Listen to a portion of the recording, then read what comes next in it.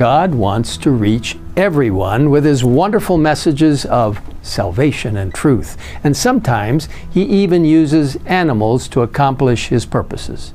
During one of the evangelistic meetings held in Papua New Guinea in April and May of 2024, the evangelist was preaching on baptism and made an appeal asking those who wanted to be baptized to come to the front. At first, no one moved.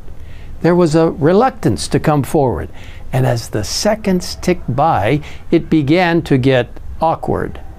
Then a dog appeared out of nowhere. It came forward, walking all the way to the front. Then it sat looking out over the audience. When the people saw the dog respond, they also began to respond. Soon a large crowd was surging forward, responding to the call. God had used a dog to show them the way. A few months later, half a world away in San Francisco, California, another dog was sent on God's errand. Missionaries from the Streams of Light ministry were going door to door, handing out packets containing the great controversy, along with a small booklet on mental health and an invitation to evangelistic meetings. At one home, a couple opened the door, and the missionary began to speak, explaining what was in the gift packet. Stating that they were not interested in the material, the man began shutting the door when their dog bounded through the open door, grabbed the packet from the missionary's hand, and quickly ran back inside with it. well, laughed the man, I guess we'll take it. Friends, now is the time to become part of global total member involvement.